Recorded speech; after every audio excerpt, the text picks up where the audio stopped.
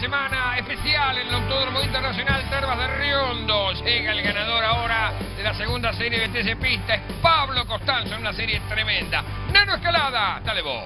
Bueno, se baja del auto Pablo Costanzo, que aprovechó la oportunidad y tomó la punta para no largarla nunca más. ¿Cómo fue esa maniobra? ¿Cómo la viste vos, Pablo? Yendo por afuera, destacaban los chicos desde la cabina. Eh, ¿Cómo actuaste ante el auto que se te venía encima? Y bueno, aprovechando ahí para tomar la punta, ¿no? Buenas tardes. ¿Qué tal? Buenas tardes. Bueno, la verdad que salió todo bien para mi lado.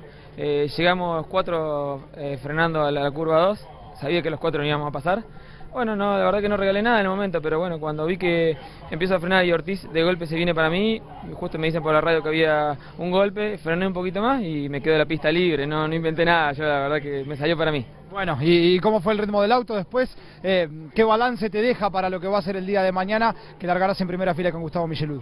La verdad que un gran ritmo. El auto no perdió nada en ninguna vuelta, la verdad que lo noté muy bien. Así que bueno, confiado para mañana. Ojalá podamos tener una gran final, la que nos quedamos debiendo de Concordia, que faltó tan poquito para poder hacer un podio. El ganador de la segunda serie del TC Pista, Pablo Costanzo. Sí, señor, así está, reviviéndose el momento en que recibía la doble.